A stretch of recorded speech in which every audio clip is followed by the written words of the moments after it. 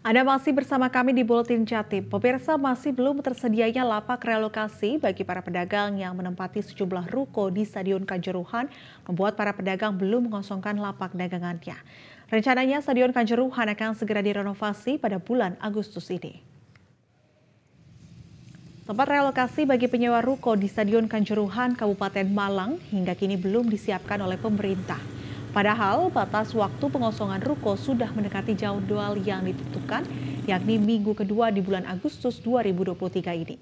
Pedagang menjelaskan tempat relokasi yang disiapkan dinilai tidak layak karena hanya disediakan tenda.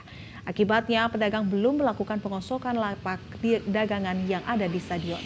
Sementara itu, Dispora Kabupaten Malang menyatakan telah melakukan persiapan terkait dengan pemindahan pedagang Kanjuruhan.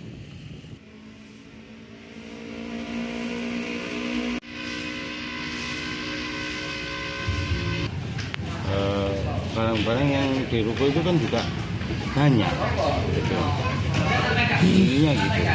Nah pada intinya semua penyewa ruko itu intinya siap mengosongkan ruko kalau tempat relokasi itu sudah ready. Sesuai dengan perencanaan PUR dan standar FIFA bahwa Stadion Kanjuruhan itu bebas dari pedagang nah, sehingga kita menggambarkan mereka nanti lokasi mana yang memang terbebaskan dan bisa tetap ada pedagang tentunya lokasi yang dekat dengan tempat fasilitas parkir. Sehingga nanti ada beberapa lahan yang sudah kita usulkan di perencanaan nanti 2025 nanti untuk dibebaskan untuk memperluas lahan parkir dan nanti disiapkan food